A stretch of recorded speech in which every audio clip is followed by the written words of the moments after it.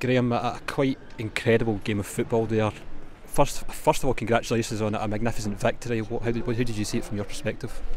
Um, I didn't enjoy it, I have to say. Um, we, we endured a lot of pressure.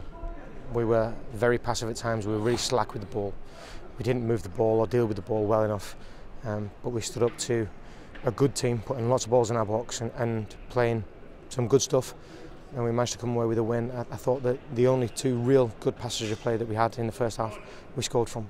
We didn't actually start the first half um, and managed, the players managed to find a way to come in ahead of the game. So. I guess by that stage you were already pre-planned what you were going to say to the players at half time. Did the goals, I guess it must have changed it completely for you? It changed it considerably because um, Danny Wilson actually came in, um, not ranting and raving, but firmly said that we're lucky because we haven't started yet. And I would agree with that. I didn't think we started in the first half. Uh, I didn't think we moved the ball well enough. Obviously Kenny going off disrupted us slightly, but we were far too reactive to what Hibs were doing. We didn't actually um, manage to impose a style upon the game. Um, and as I said, I, th I thought all over the pitch we were a little bit loose. But you have to come to places like this, you have to endure pressure. Um, sometimes you have to ride your luck. Uh, and we walk away with, with three fortuitous points, I would say. We did speak about character uh, after the, the, Aberdeen game and how the boys stood up to it. It was certainly there in spades again tonight, which must be very pleasing for you. It is pleasing for me because, as I said, they played well, but we, we stood up and, and actually won challenges, won headers.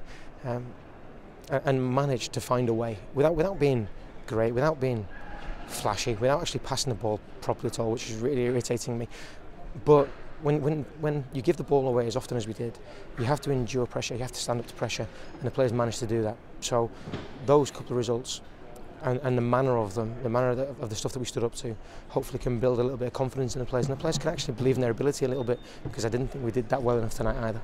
Is there perhaps part of you at the back of your mind thinks obviously didn't play well against Ross County and Saturday, didn't play so well tonight. You're still winning these games. What might be possible if you do play well? The, the players know what's possible because they did it against Aberdeen twice. They, they know our standards. They know what we want to do.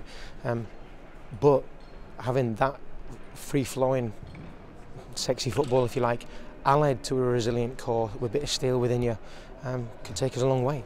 And and you, it's nice to have the both of them.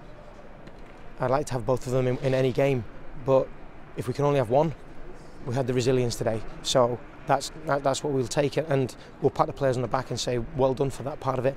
We need to do this bit better. We need to do that bit better. But more importantly, we need to recover these players because we've got a quick turnaround and there are some battered bodies in there, so, and we need to make sure we take care of them really well before the game on Saturday. And just to finish, give me a, a word for the, the, supporters. The noise that they made tonight was, was incredible. It, it, was immense, and they, they were challenged in the first half because, as I said, we didn't start, we didn't give them a great deal to cheer about, and then with one bit of play, we score a goal. And then in our second bit of good play, we score another goal, which shows the players actually when we do pass the ball properly, we can actually open teams up and we have a threat. We have threats on the pitch, um, but we have to get them involved as well. We have to give them something to cheer about because they turn out again in their thousands. The support's amazing for us, and we need to do more for them, I think.